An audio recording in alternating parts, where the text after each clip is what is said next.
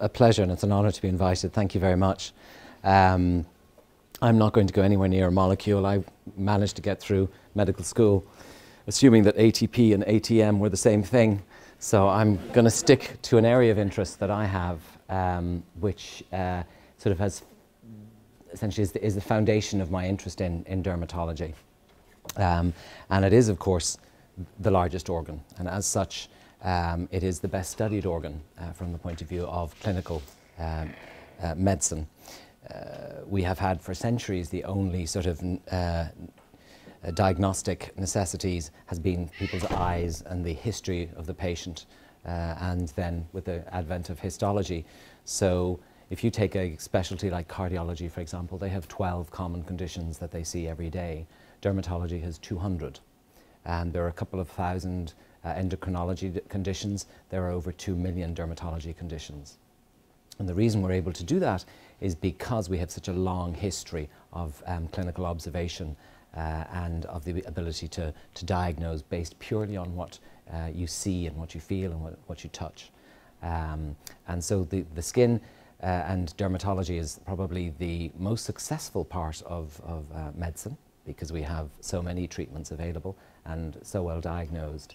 And if you extrapolate that to every other organ in the body, you'd think there must be the same number of diseases and subsets of diseases in every other organ of the body, but we just don't have the ability to study that yet.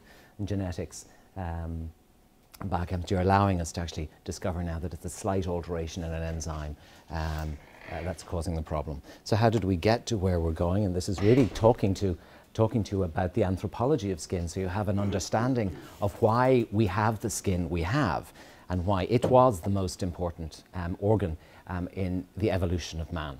Uh, and similarly, it is the most important organ uh, in maintaining us um, uh, as, uh, as sentient beings. Uh, this is a picture of Richard Leakey. Those of you who have uh, any interest in, in anthropology know Richard Leakey was one of the, is, one, is one of the great um, anthropologists, and he discovered a large number of um, early um, arthropods in East Africa. I actually grew up in, uh, in Kenya. Do you need me to speak louder? Um, I grew up in uh, Kenya uh, and I spent a large uh, proportion of my childhood there. Um, so this is how we tend to see, uh, or it's portrayed, um, uh, that how, how we came across, we suddenly appeared um, hairless, pale, um, European of course, um, and uh, a male and a female.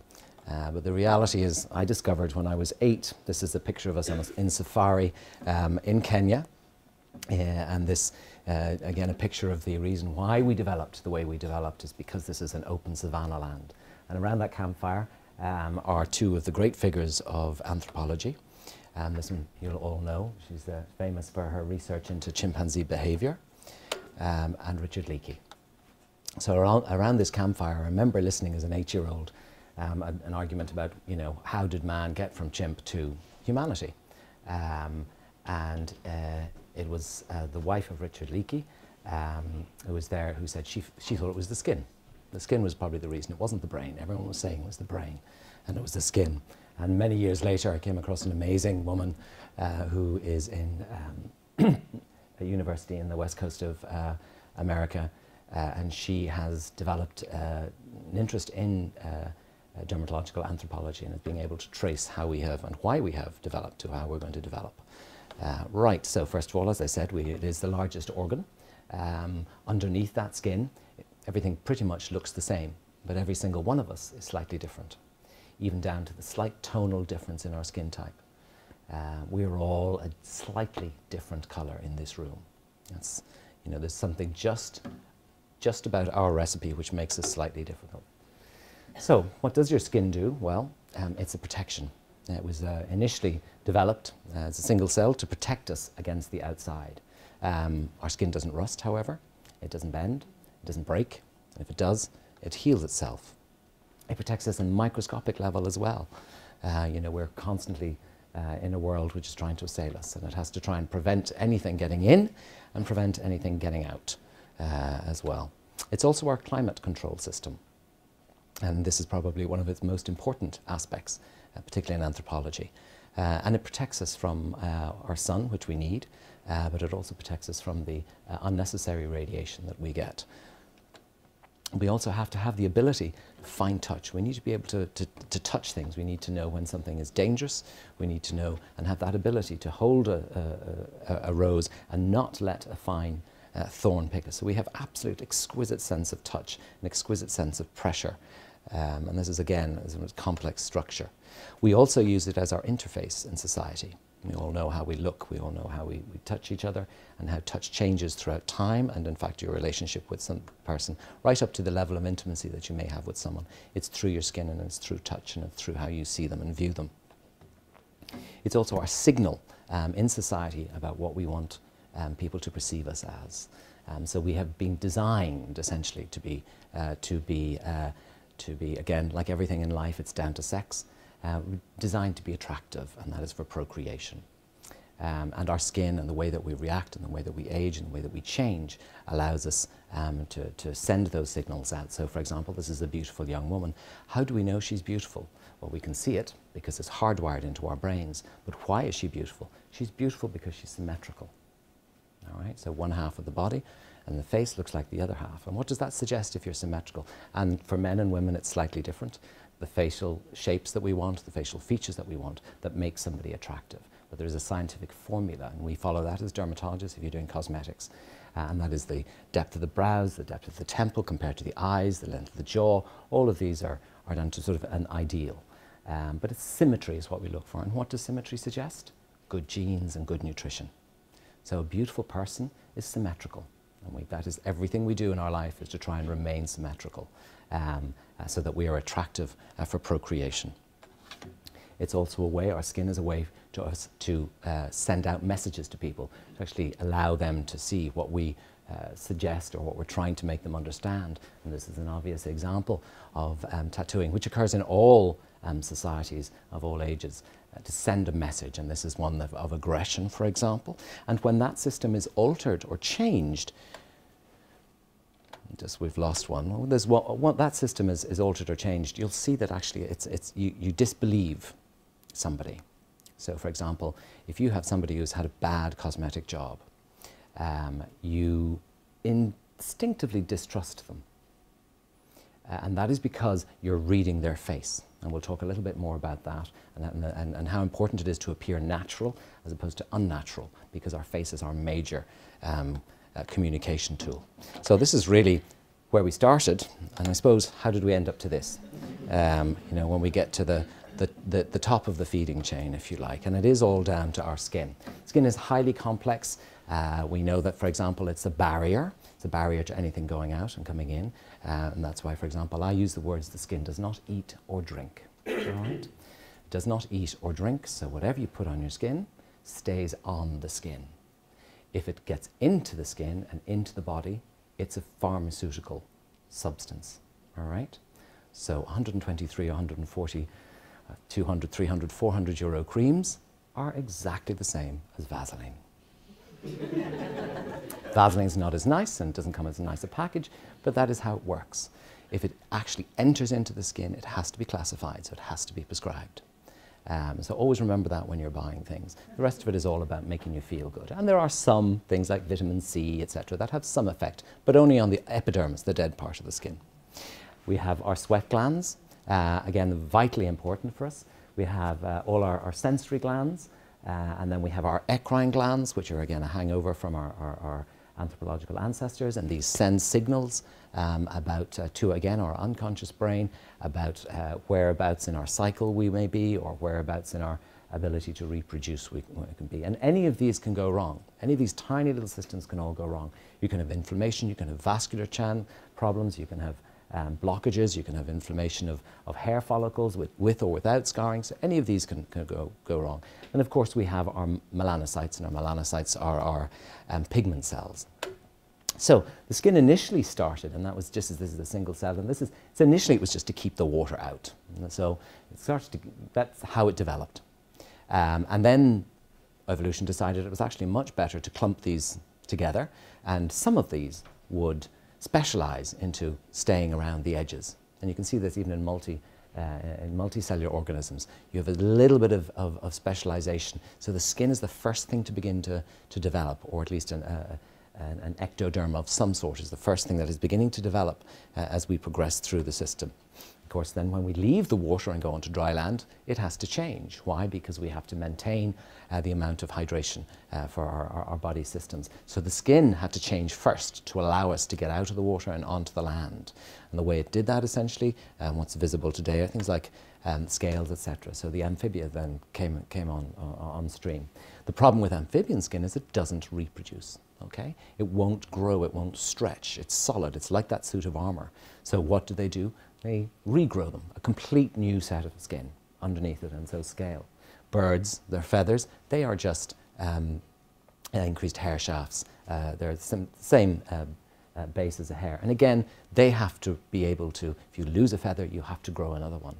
Um, so it's not something that, uh, that is static, it's something that's constantly changing. And that's our main difference, uh, is our ability, our skin's ability to constantly repair itself. And so this is a, epidermis and, uh, uh, and, and, dermis.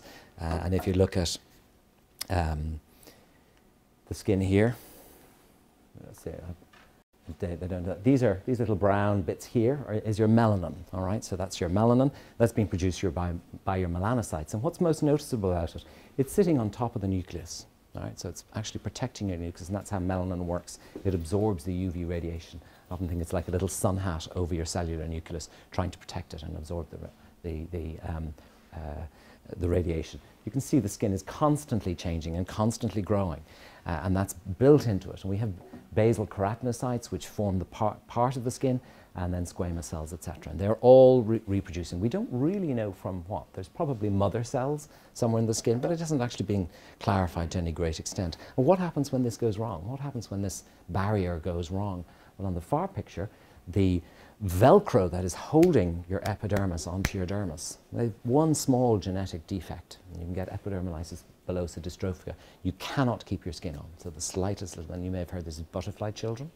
Um, and this, uh, this uh, essentially, they're unable to keep their epidermis onto the dermis, and this can be uh, life-threatening, certainly very crippling. And this is a much more common condition, eczema. All right. So what happens in the in the actual epidermal and dermal um, sort of components of the skin. Well, we know, for example, that some of them are missing or altered or abnormal, and that alters the actual um, the, the, the, the, cell barrier, if you like, or the skin barrier, changes it so that it is less able to keep on to uh, its um, moistures. And, and that's, there's a whole range of lipids and cholesterols and, and um, uh, organisms which are, which are vital to keep that skin um, watertight and to keep it permeable correctly. Um, and if one or two of those are altered, and we're beginning to discover that now in eczema, that changes the skin barrier. And what happens if you change the skin barrier? Well, things can get in and get out a lot more easily. So, for example, that's why if you have eczema, we talk about moisturizing, moisturizing, moisturizing, moisturizing, and then we talk about everything else. Because there's no use you putting on a cream if your skin is dry, thick, and it's not going to absorb things. Also, that's why we would tell people with eczema, for example, you have to be aware that you're at an increased risk of developing allergies. And that's because of contact. You're constantly in contact with things. We advise our eczema patients not to become hairdressers, for example, not to become, uh, not to work in areas where they're going to be constantly exposed to, to allergens. And of course, there's the usual thing, you know, it's due to diet. In the vast majority of people who have eczema, it is not a diet-related uh, condition. It's actually to do with the skin barrier. Uh, and then when, you when something else goes wrong, so for example, psoriasis here, um, uh, you know, the, the, the, the, turnover rate of the skin uh, is, is altered. It drops from about three months to less than a few days. So the skin is turning over a lot more quickly. And that's all reduced now, we, we know, down to inflammation. The skin is turning over and turning over much faster. You've got massive amount of inflammation, etc. And what's really interesting is that psoriasis now is not seen as a skin disease, but as a systemic disease. Because if you have severe uh, psoriasis, you're more likely to have cardiac disease, you're more likely to have um, uh, other, other, inflammatory disorders, uh, you're more likely to develop diabetes because of that massive amount of persistent inflammation. Um, so psoriasis is a systemic disease, but it's just uh, uh, on the skin. We've known for years about the, the psoriatic arthritis. Um, so there's a link between all of the, the organs in the skin. And then, for example, um, uh, ectodermal dysplasia. Uh, this is where, for example, part of the, the, uh, the skin is, is, is abnormal due to a genetic defect, but also you get abnormalities in the hair shaft and sweating and teeth, etc., etc. So again, a genetic abnormality. And this is, for example, with your eccrine glands, those, those glands or apocrine glands that give off that um, sort of um, like pungent uh, pheromone, and they're predominantly in the axillae and in the groin. And this is a condition called hidradenitis suppurativa, where you just get these massive amounts of inflammation and um, uh, cyst formation and scarring, and it can be very destructive. Uh, we don't know the cause of that, but we do again know it's uh, inflammatory, and it's probably because of the way that the eccrine gland handles the bugs that's on our skin. So there's something a little wrong with that. So let's go back to our neighbours, um, and let's how, how did we how did we get to where we are? Well, it was essentially because of climate change. Climate change got rid of a lot of the dense jungle within Africa, and Africa is the heart of, of mankind. It's the motherland of mankind, if you like. There's a wonderful book called Eve, if you ever want to, uh, if you want to read it. Uh, it's about how uh, we developed, and we were able to, to, to uh, essentially track down uh, the genetic uh, marker, markers of man back to one female in the middle of Africa, they, they feel. Um, so that climate change got rid of, for some reason or other, got rid of the, the, the dense jungle, and this appeared, the savanna. And as a result, to be able to travel long distances and to be able to see over and to see long distances so that you were safe, we had to get up off our all fours and start to walk. And we became bipedal. But what happens when you become bipedal? You change the way that you're, uh, you're, you're, losing, you're losing and generating heat. You also are now out in the sun, and so you're gaining heat, you're under, uh, you're under heat. Um, so you need to be able to control your core body temperature. So this is the classic thing. Here's man developing away, and it's his brain getting bigger and bigger and bigger. Right? And his brain is always felt but that is what's made man amazing. But in fact, it isn't. It's the skin, and it's one particular part of the skin that allowed us to do that, and that's sweat. All right? It was sweat that allowed us to be able to actually get up and walk across the savannah. Now, why does it do that? well, if you think about it, uh, you're now out of the shade of the trees and you're walking, uh, and there is no uh, remit from the heat in Africa. So we stood up, we started to walk, and we had to sweat out that. Uh, we no longer panted, we had to sweat it out, and so our sweat glands developed. We began to lose our hair as a result, uh, again, because it's easier for you to um, uh, evaporate your sweat of hairless skin, apart from your scalp, interestingly. And that's because the hair in the scalp is slightly different, and, and African hair is slightly different than European hair. African hair is very good at holding a layer of moisture just on the scalp, so it's slightly cooler than the surrounding air, whereas European hair is not very good at doing that. So we didn't actually need, as Europeans, we don't need our hair, thankfully. Um, so the other thing to be aware of then is that our height, so this is a Maasai warrior, um, he was in fact our um, Askari or guard uh, where, we, where we lived in Africa and everyone had one. We don't know why. It was probably to keep lions at bay, but um, he never did anything really, just walked around. It was rather scary as a, as a young, young boy. But they are tall, and when you are tall, you've got a lot of surface area. And if you've got a lot of surface area, you're going to lose heat a lot more frequently. And that allowed us and our brain to begin to develop because the brain needs to be kept at a constant cool temperature. So by, by being able to do that and being able to sweat and lose in those peripheries, uh, that allowed us to, to, to, to, and you can see this, the thermogram of, you know, trying to keep that brain really cool, blue is cool, and trying to keep it really cool and your core temperature high enough. And of course, the problem was that that was in Africa, when it was hot in Africa. But as humanity began to move, and humanity moved out of Africa and moved along the coasts, um, over the land bridges into Asia and then into Europe, um, uh, going north uh, and, and east, and then finally they went fully east and coming back into this part of the, part of the world. Um, and so just remember that history that we went that way and then came all the way around again uh, because the color of the skin varies depending on where you are. You can see we have a whole range of pigmentations available to us um, as humans. Uh, and why do we have this? Why aren't we all the same color? And it's essentially down to a war between these two things. All right, one of these is folate, I think it's the top one, and one of these is vitamin D, it's the bottom one. I think could be the other way around. You'll know more better than I would. So, what do we need vitamin D for? We need vitamin D for our bones. And what do we need good bones for? A good pelvis. And what do we need a good pelvis for? Childbearing. All right. So you needed to be able to make vitamin D early on in your life when you're forming your pelvis. Not so much in, uh, in men, but to a huge extent in women. Men needed it to be able to grow and hunt, etc. But you also need folate. You need folate for neural tube, neural tube development. The problem is folate is broken down by sun exposure on the skin. All right. So what we needed to do was get a way where we could get enough vitamin D so that we could develop a pelvis, and, but also protect our folate so that we could have healthy children that were going to survive. And that's where pigmentation came in. This lady is from Central Africa. She's very dark. She's in a, an area of the world where there's a large amount of UVB radiation, which is persistent. So she's going to get enough UV radiation to make her vitamin D from her skin, but also diet to some extent. But skin was, was the predominant, early on, the predominant form of vitamin D ingestion. Whereas this lady is from the northern hemisphere. There wasn't an awful lot of UVB radiation. Um, and as a result, she needed to get as, allow as much um, UV radiation, UVB predominantly, into the skin to make her vitamin D. So she had to become pale so that she could do that.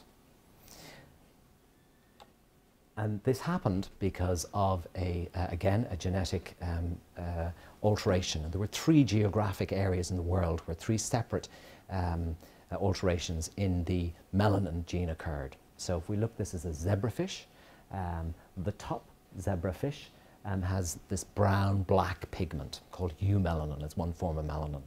The bottom um, zebrafish has this reddish-brown pigment called pheomelanin. All right.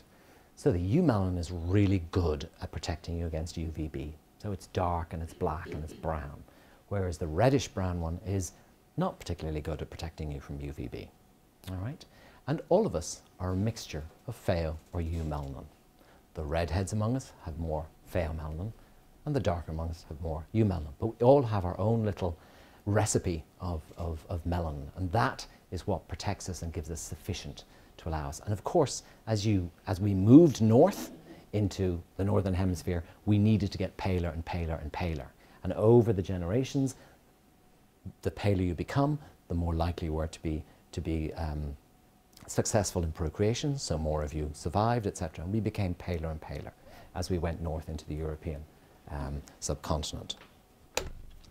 And so this is a, a, map of pigment around the world and the colour of skin, etc. And you can see again, it's predominantly Africa uh, and Asia, the, the darker skin types. And that's because, as we said, we moved east as we moved out of Africa over the land bridges across here, down to there, and over here. Now, one of the, the uh, um, melanin um, mutations occurred here, another here, and another in Europe.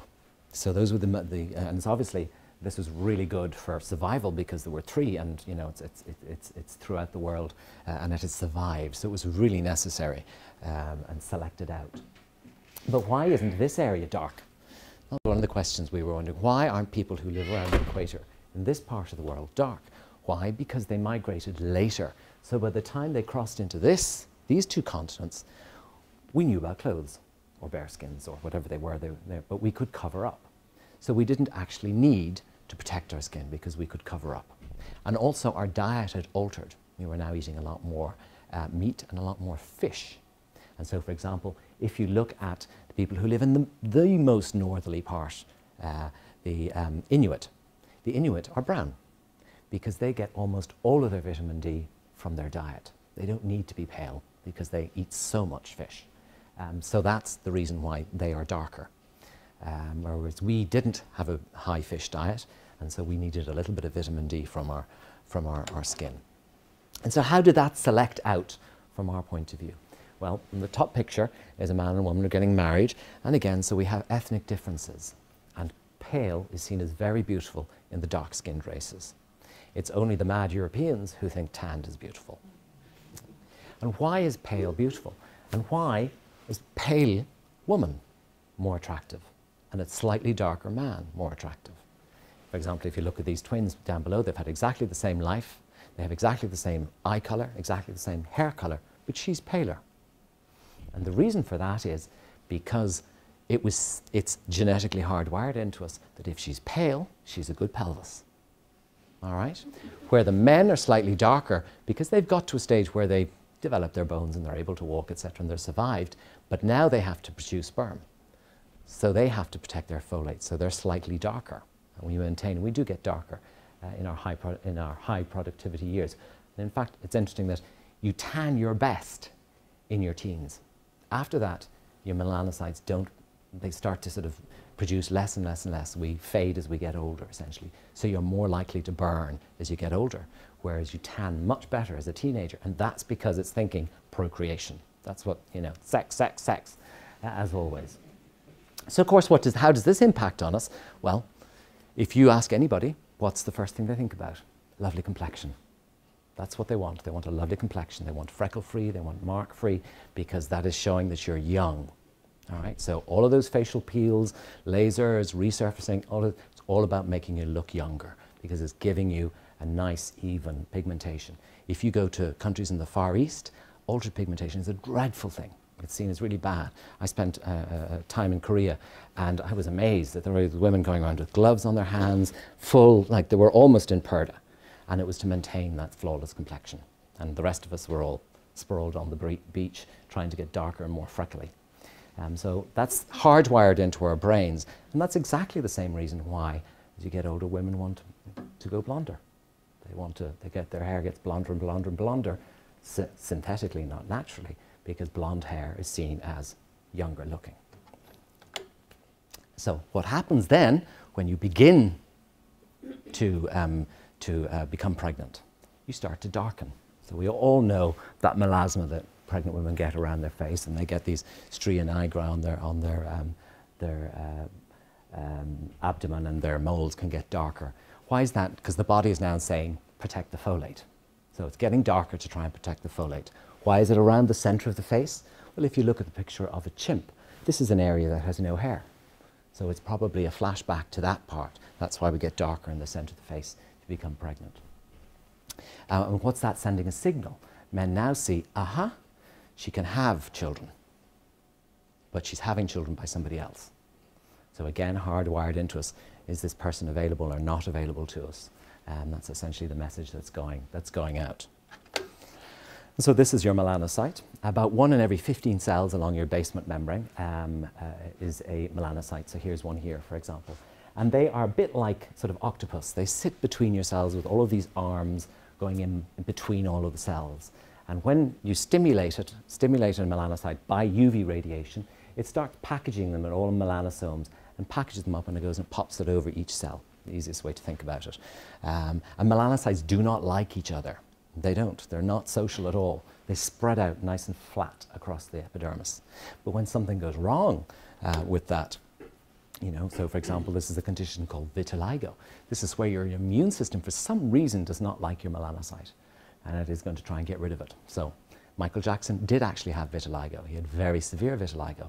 So he took a pill, which we can, we can treat vitiligo with this, which completely depigmented him, just wiped out his melanin. So that's why he went around under umbrellas and oxygen masks, because he had no ability to protect himself. So vitiligo is where your immune system is, is trying to destroy your melanocytes. And for years we tried to, this is a therapy with, immuni uh, with uh, immunotherapy for um, melanoma because we knew the immune system could destroy your melanocytes. So we gave people interferon, we gave them interleukin, we give them the likes of ipilimumab now, CD4LAs. So that's one of the reasons that we, we, is important. But this is how it probably happened initially while we began, began to fade and get paler. For some reason, um, our bodies knew it needed more vitamin D. this is when the migration, for example, of your melanocytes from your melanocytes grow in your endoderm, the same places your spine grows from and your nerves, and they migrate out towards the skin. And when they, something goes wrong in that migration towards the skin, uh, you form moles. Thank you so much. You form these moles. And moles are little clumps of cells of melanocytes. We use the word nevus, which means nest. Um, so they all clump together, and we don't know why that is. Uh, we don't know what causes them to clump together, but it's so common there has to be some sort of reason that helps us and this person has a condition called um, atypical nevus syndrome or dysplastic nevus syndrome. They have hundreds of moles. They have lots of abnormal looking moles, and they're at an increased risk of melanoma. It makes pretty much sense. You've got a lot of moles means you have a lot more melanocytes than somebody who has no moles. We all have the same number of melanocytes protecting us, but when they clump together again, you're getting more and more of them. It's also why you can get melanoma in areas that the sun never shines, such as your brain or your spine or your bowel because you have melanocytes in those areas too, because they will, they will, do, they will uh, migrate to there. Really important part of our skin, of course, is touch. We need to have the ability um, to sense. And there is a whole range of organelles which have been used, um, which can do very fine sense of touch, um, it, vibration, temperature, etc. And we're able to feed that into our brain. And again, it comes from um, previously uh, you know, the, the, cat will use its, its whiskers, that's the most sensitive. For a bat, for example, the hairs on the underside of the wing will tell the bat how fast that air is moving. So there's a huge amount of sensory information going into the brain. And in humanity, this is how we see our skin, all right? So you might want to know where the three erogenous zones are, they're fairly obvious. Um, but that is how we actually sense, all right? So this is how our brain sees our senses, and that's why certain areas are more important. So hands, feet, lips, um, and face are all very important in our sensory input. And why is the mouth so important? And if you think about it, we have to eat. So, and you will be able to taste and, and, and, and touch and be able to tell whether fruit was ripe or not from your mouth and your lips. So again, evolutionary, plugging us in so that we, we are uh, suggested. The other thing then is our fingerprints. We'll talk about this. This is the start of our fingerprints. They began to lose the hair or the tail so they could hang on to things. You'd sweat into the, into the areas, and by forming a little gentle amount of uh, thin layer of sweat, uh, or of dampness, you're able to hold on to things. You know that. You can, you know, if your hands are really dry, you know, nothing will stick. Whereas if it's, if it's slightly wet, if it's too wet, of course, is the problem. And then so we have our fingerprints developed. And you have every single little one of these, every single little one of these little dots is a sweat gland opening onto your skin, so you're getting a little bit of sweat. And this is again individual to each one of us, an amazing evolutionary um, feat. And that's why we did that. And again, it was for feeding. We needed to be able to feel we needed to be able to know whether something was ripe, not ripe, edible, not edible. So we needed to do it with our fingers, with our, um, with our, our, our, our, mouth and our tongue. We needed our feet to be able to sense what we were walking on, hence the reason why they are overrepresented in the brain. And when something goes wrong with our sensory perception, we get problems. So this person um, has a condition called atrophic uh, neuralgia. They had a nerve damage to this area and it feels abnormal to them. So they're picking away at it. They don't feel it. They're picking away and destroying their own skin and subcutaneous tissue because they've lost that sensation to the area. And this is exactly what happens with people with diabetes, for example. They can't feel the bottom of their feet. So they, this is totally painless for this person. They just don't know when they're burning. They don't know when they're wearing out their, their, their skin. We'll stop walking if we've developed this, but diabetics can't. It's exactly the same with leprosy as well, um, in those sense. And then from our psychological development, this is incredibly important. We need to have interaction, particularly close interaction with other uh, human beings.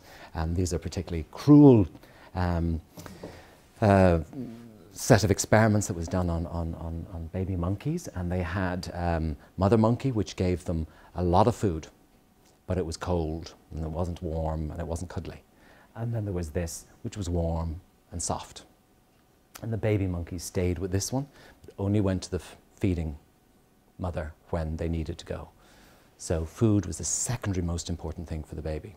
They needed protection uh, and intimate. So again, hardwired into our brain to seek that when we're, when we're young. We want, we want that sense of, of um, social, social interaction. And all um, forms of society have a social interaction. This is grooming, which occurs on all, all in all primates, uh, and, and, it's a way that we build bonds with people uh, within our society. Um, and even as doctors or scientists, very important, we never forget the importance of touch. And my, the first um, uh, dermatologist I ever did, uh, ever worked with, used to sit on the edge of the bed and hold the, patient hold the patient's hand during a ward round. And the sisters would be at screaming at him to get off the bed to count the infection risk, infection risk, and he absolutely refused to because he felt sitting down and being close to the person and holding them was so important. Um, and I still try to do that today when there isn't a matron around. but of course, we've carried it to the complete opposite end of the spectrum now with grooming. All right, so we are now grooming, but again, grooming for a reason. Uh, but it's a huge multi-billion euro industry founded on very little evidence, one would have to say. Um, I often the same when we're talking about melanoma. I often say there are two trials proving that sun protection factor may be useful in the prevention of melanoma. And how many billions of people use sun protection factor throughout the year. All right, so it's just very weak evidence, but it's sort of gone. And now we all think we'll put the sun protection factor on and we'll be fine. That's not necessarily the case. And then hair. we began to lose our hair. We began to lose our body hair again so that we could thermoregulate. It's fairly obvious what hair does. It makes you look bigger. All right. So if you're threatened and you, your hair rises, you look bigger. It's fairly obvious with the, with the cat and the chimpanzee. We still have the, the remnants of it now with our, with our piloerection. We do have little hairs um, that stand up. We're not quite sure. It's usually um, now to, to trap a little, a little bit more, more air. There's of no great benefit. So we had to develop a way of communicating, and we did this with our faces. So when we look at people, we look at their faces, and we look predominantly at the center of their face, all right? Um, and we will look at what they are saying to us. So this gentleman has got the whole range of, of emotions, and we're reading these emotions you know, about 30 to 70% of what we perceive in a, an interaction with someone is what we see, not what we, what we hear. This is fairly obvious what he wants. And we need this evolutionary selection. We need to know danger point to get out of here. Or good person, you know, supportive mother figure, right, we'll go to, we'll go to that. So we needed that evolutionary. And now, of course, we've got to the stage where we've lost that ability to use our facial muscle, muscles here chemically because of Botox. All right? And if you look at her, she's a beautiful woman in her, beautiful woman, and somebody has badly done her, her, her, and as a result, you look at her, she strikes you as, oh, something slightly unusual. Okay, it's what we call an FLK, or a funny looking kid. Not quite sure, but there's something slightly different and slightly wrong about that, so what do you do? You mistrust. I don't do many cosmetics. I have 13 people that I do cosmetics on, all of whom are men, um, and all of whom have been with me for years. And every single one of them uh, is in business. They all have to look fresher. But the most important thing is I have to make sure their, their face moves. Because if their face doesn't move, when they're trying to sell, they can't. Because the person's automatic instinct is something wrong, don't trust. So, uh, very difficult to do men correctly. Um, and then, of course, it's fairly obvious. Um, the other reason that we, you know, we have our, our, our skin is to send those signals. Right, we're ready okay? Um, you know, we're ready for procreation. This is a good time to make your move. Right? And just remember that the next time you're doing it in the morning. So that's exactly what lipstick does. Lipstick is just sending that, sending that signal. And that's why lipstick rates go up during a recession. So finally, I suppose this is the bit underneath, all right? And it all looks the same. Absolutely looks the same. One heart looks pretty much like another. One liver looks pretty much like another really most, uh, you know, uh, unexplored at this stage. With the skin, every single person's skin is different, and every single person's skin um, is unique. Uh, so it is the most complex organ, as I said, and I'm glad to be getting to know a little bit of it. So that's pretty much it. Thank you very much.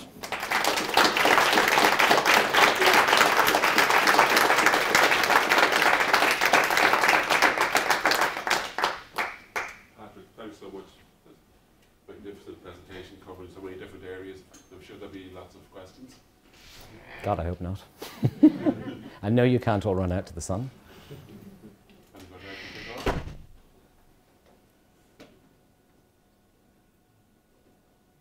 So you said the sunscreens really that the evidence is pretty weak. The evidence is weak in one, one in a sense, but it is going to be, a, it would be, a, and that's really, again, I suppose, science, because how are you meant to, to, to do that? You know, it's a, it's, it's a 10 to 15 to 20 year lag time between sun protection and using it correctly, etc um, that you know it, it, it, would be very difficult to, to, to, to, to follow that, particularly as 20 years ago the, UV, the sun protection we had was only for UVB, it wasn't for UVA. That's only sort of come on stream in the last 10 to 15 years. So those of us of a certain age, when we were putting on our factor three or four and thinking we were great, um, because nobody else wore sun protection those days, we've probably done a little bit more damage because we were giving ourselves UVA at huge rates and weren't burning. The skin's burning is a warning system, essentially. If you burn, you stay out of the sun, and if you burn, you don't go out for the next few days. Um, and you're very careful, and, you know, for a short period of time, usually. Um, so burning can, you know, although burn will increase your risk of melanoma, burning is nature's way of telling you get out of the sun. And we altered that initially with the sun protection factors being only UVB, because we only thought it was UVB, but in fact, we know it's UVA uh, as well as UVB. Um, and then we've got our sun protection factor types. So we've got our um, organic and inorganic. Some of them absorb um, and transfer the radiation energy and, tran and, transform it and transfer the radiation energy, and others reflect it. So, for example, titanium and zinc oxide, um, they are the ones that cause the sun protection factor to be really white. They're, they essentially think of thousands of millions of mirrors on your face, and it's just reflecting the, the light back, and that's why you look whiter. Whereas the chemical sunscreens uh, are a lot more cosme cosmetically acceptable. Problem with the sunscreens, of course, is they deactivate. You sweat them off, you towel them off, etc. We don't use them frequently enough, thick enough, etc.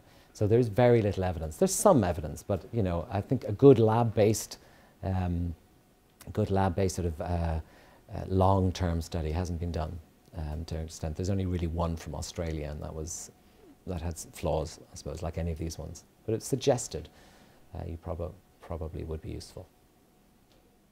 Yes, sir. Would you mind to explain how? God, if I knew that. All, okay, clinically, what do we know about melanoma? We know that there are certain risk factors. So the sort of the, the risk factors when we see somebody walk into a clinic is the color of their skin, um, the color of their hair, the color of their eyes, blue or green eyes, red or blonde hair. The number of moles you have, the more moles you have, usually more than 100, will put you into a risk factor. And also there's a personal history of melanoma. If you've had melanoma once, you have a 4% chance of getting another one. Or a family history of melanoma. The more members of your family that have it, the more likely you are. Melan genetic, if you like, familial melanoma is rare, less than 5% of cases. Um, but you are at an increased risk, and that's probably because of your skin phenotype. You just, you all have the same type of skin and all type, the same type of sort of sun habits, etc. Um, and then I think probably the, the, the biggest problem we have is that we have classified melanoma as one disease. Now we know, for example, clinically there's five different types.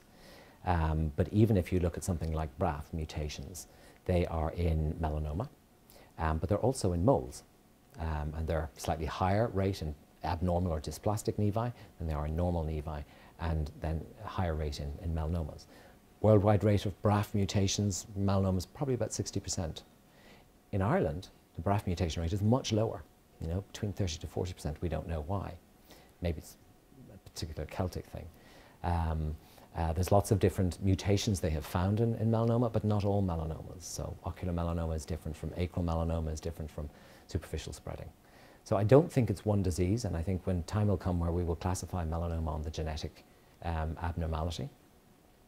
So what, what, causes it? Well, you can get melanoma without UV radiation. That's the first most important thing. So you do get primary melanoma of the gut, primary melanoma of the bowel, primary melanoma of the brain even in your lymph nodes, you can have melanocytes that become um, uh, neoplastic.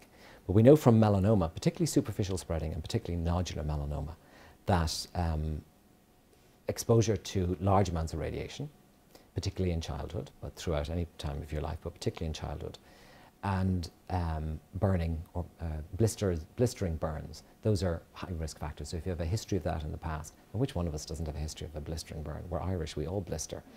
Um, you know, most of us will, or, and it's usually accidental. Nobody goes out of their way to burn. Um, uh, so, and then probably the young uh, exposure is to do with the lag period. But I'd say it's, it's like everything, it, it really, it's, it's not one step, it's 23 different steps all have to happen. So I think we're still, we still don't really understand it. Um, and you can even look at the chemotherapy that we're getting at the moment. There's nothing specifically, you know, aimed at melanoma. BRAF mutation, yes, it's useful, but on its own, only for a period of time. So for example, you can develop a melanoma, your primary melanoma can be BRAF negative. You metastasize, and half of your metastases are BRAF positive, and the other half are BRAF negative. So, you know, I don't think it's, then we're, we're decades away from finding that question. When I let you know, I'll let you know. Yes. Great skin, by the way. The, uh, very profound subject of freckles. Yes. Do they fall into the your evolutionary pattern of certain things uh, of you know even tone skin yeah. being selected for, and yet yeah. it seems to be passed along with the. It is. Yeah, it is. And again, if you think red hair and Celtic. Okay, freckles. Well, what, what is a freckle, firstly? I'm just going to describe. A freckle comes and goes with the sun. All right? So, and most people think a freckle is a flat thing. But, uh, that's a lentigines. All right? So, freckles will eventually become lentigines. They don't disappear. But if you look at a young child, they get freckly in the summer and then it fades in the winter. But as you get older and older, we get more and more and they stay. All right. Um, I think the easiest way I, I describe a freckle, a freckle is your skin telling you you're a crap tanner, essentially. That's what it's saying to you. Um, but we know that because you have that type of melanin. You have that pheomelanin if you are that sort of uh, freckly person. Now, there are people with eumelanin who also get freckles. But essentially, it's as a result of, you know, of, of repeated radiation injury to the skin and the skin telling you, I can't, I, I'm, I'm, you know, I can't pigment up correctly, so I'm pigmenting up irregularly. Um, and because each one of us has a different recipe of how much pheomelanin and eumelanin we have, your freckles will be all slightly different throughout your body as well. So that's essentially what freckles are. And freckles are also a warning sign, you know, one of the risk factors if you're freckly. Um, it's saying, okay, you're not so good at protecting yourself from the solar radiation. And the reason for that is, well, we needed you to get vitamin D. That's what Uh, is eczema can be treated or not? Um, yes, it can be treated. Like most things in medicine, we're not very good at finding cures, but we can certainly treat it. Um, and there are lots of, of, of, you know, there's still a lot of blunderbuss um, treatments uh, available. As I said, the most important part of uh, treating eczema is hydrating the skin. So you're constantly um, using emollients. You hear people say, "Oh, don't you know, don't ba- don't bathe, don't wash." It's most don't you know, don't do. Absolutely, we bathe people two or three times a day. You hydrate that skin up. You then put uh, some prote- you put um, an emollient on top of it. And remember, an emollient is essentially going to sit on the top of the skin. So what does that do? It stops um, per- perspiration and transpiration of, of uh, so water loss from the skin. And then we put on our whatever it is, be it you know um, steroid, for example, or tacrolimus, and both immunosuppressants. Um, eczema is much more likely to become infected, so and that sort of drives the inflammatory process. So treating and reducing the amount of infection, reducing the amount of allergens that they're you know they're exposing themselves to, uh, all of that type of stuff. And, and early on in life now, we're sort of we're really pushing you know to get kids out and get their immune system activated to things. So playing in the dirt, playing on the like children of farmers have less risk of, of, of eczema than children of superneurotic professional parents. You know what I mean? So, you know, cleanliness, cleanliness, cleanliness is not necessarily a good thing when you're young because that's when your immune system is, is developing and beginning to recognize what's good and what's bad. Um, but it, it, is, it is increasing. Um, and if you think about it, we're not meant to be showering and, well, getting wet every day isn't a problem, but it's using, using soaps and shampoos and all of those type of things and bubble baths. They strip the skin. Um, so it's, but it's not, it's, it's not curable.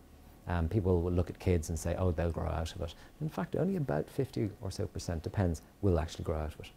And you can get eczema at any time of your life. Are deodorants, uh, they contain aluminium, Mm. are they dangerous?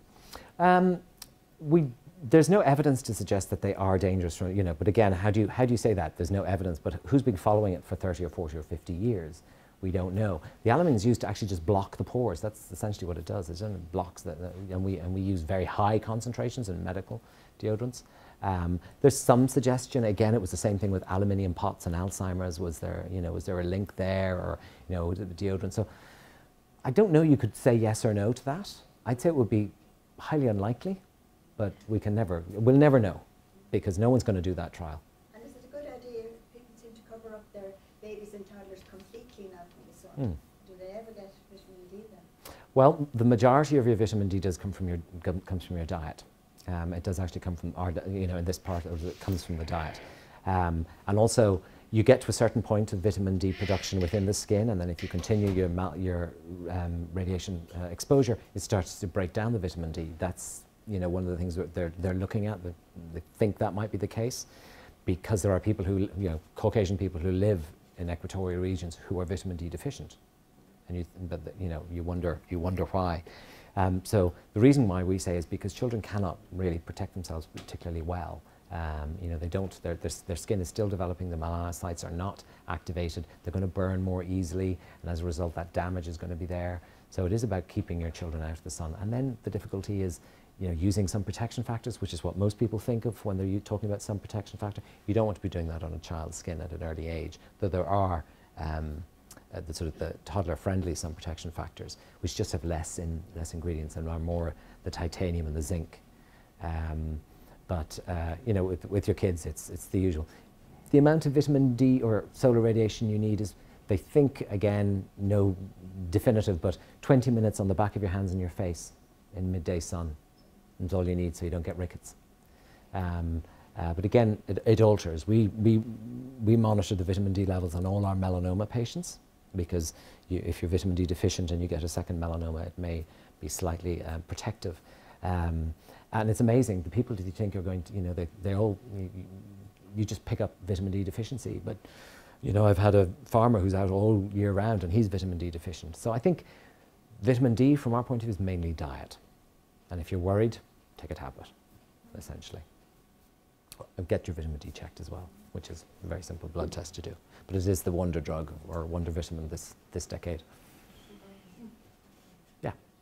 You know that it's not impossible uh, to take vitamin D, only diet. It's uh, you know that if you have taken diet uh, for diet Mhm. with diet uh, with vitamin D, Mhm. it's not effective in your body. Uh, It- you know the metabolism yeah, absolutely. from the liver, liver also kidney metabolism Yeah. can be on. Not only diet, you know. It's not only diet. Yeah. Turkey. It's not only diet, Yeah. but the amount that we need from sun exposure w- is sort of being overplayed. We think diet is the majority of vitamin D, but you need some solar exposure, but not an awful lot. You know, you don't need, as they say, that's why the 20 minutes. So you do need some solar, but not as much as we would, as we think we would, would do. And I think, and I think also absorption of vitamin D differs from person to person. Um, you know, so, you know, so it's, it's, it's like, you know, I often say my grandmother was right. It's everything in moderation. You know, everything in moderation. There's a question over here. Is there? How important is it for each individual to, to know is skin they're in? Yeah, okay, good question. Thank you. Um, I suppose it's the only organ that you can actually look at yourself um, and you can monitor yourself. Um, I often say to people if you think of, pick your kitchen at home, all right? Um, you may not know every single plate, every single pot. You have an idea where everything is, etc. If you were going to look for something, you'd have an idea. If I broke one of your plates, or took or added in a pot, you might not notice immediately, but after a couple of times looking around the place, you'd notice this was slightly different. So what's the difference is that you're familiar with your kitchen. You don't know everything in it, you don't know the fine detail, but you're familiar. That's what you need to do with your skin as well. You need to become familiar with your skin so that if something changes or alters, or there's something new that is changing and altering, you pick it up. And if you pick it up, you get it checked if it's something to worry about. Um, and what that does is the vast, say, for example, with melanoma, 60% of melanomas are picked up by the patient. So it's actually the patient themselves noticing something. So the big drive is to get people to look at their skin, because if you look at your skin, you'll pick it up early. And melanoma and a lot of skin conditions are really manageable early on. It's when things get out of control um, or the tumor is late that, you know, that, that, that can be devastating.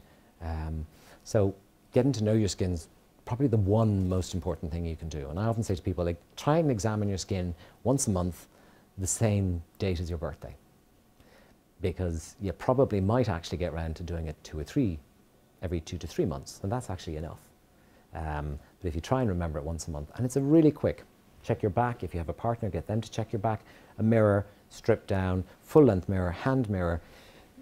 Don't forget to check your scalp. You do a hair dryer if you have a lot of hair. Look behind the ears, um, under the arms, uh, between the toes, on your hands and your feet, between the buttocks, on your buttocks, behind the back of your legs, all of those areas, so that you just over time gradually teach your brain what's normal for you, so that if something is altered or changed, because anybody at any age of any skin type can develop a melanoma. And that's one of the things that we sort of push people to do. Can I ask about peripheral nerve damage post-herpetically? Mm-hmm. Um, what's the reason why sometimes it doesn't go away and sometimes it does? I don't know. I think would be my my answer to that. I think uh, I, you know we've no idea why some people you know have have pain and some people don't. No idea. Thank you very much. Thank you. Thanks. Enjoy the rest of the day. Is that you the question? Yeah. Sorry, um,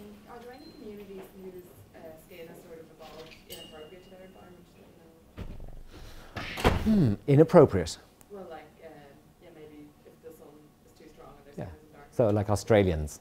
yeah. Yeah, essentially. Or people who live in Miami who are Caucasian.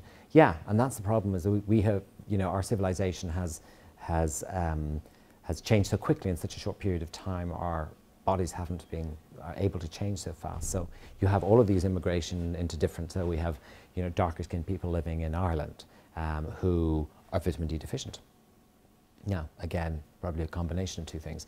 We have you know Celtic people living in Australia and they're out and about in the sun, etc. So you know that will all change. I'm sure in about you know two or three thousand years' time, if we're still flying around the place, we'll all be sort of somewhat the same colour.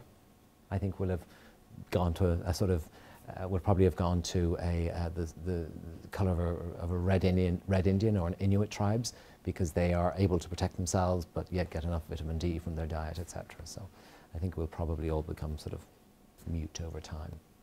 Um, and then, uh, yeah, and that's pretty, pretty much the, you know, from, but from an uh, yeah, evolutionary sense, there's no particular one tribe that they, they would look at and see. One of the things you, you, know, you wonder about is, for example, um, albinism in, in Africa. Why did that occur? Why is that a selected sort of uh, gene? You know, why, why does it occur there? Because, of course, they die very early um, and they are shunned in the vast majority. Again, why? Because they died early. They were of no use from a procreation point of view. More questions? Yes. Well, then, first, I'd s- I'd say there's some lonely biscuits here, if you're talking to anyone, it's still, uh, but most importantly, what the time passed again very much, really fascinating. Thank you very much. Thank you.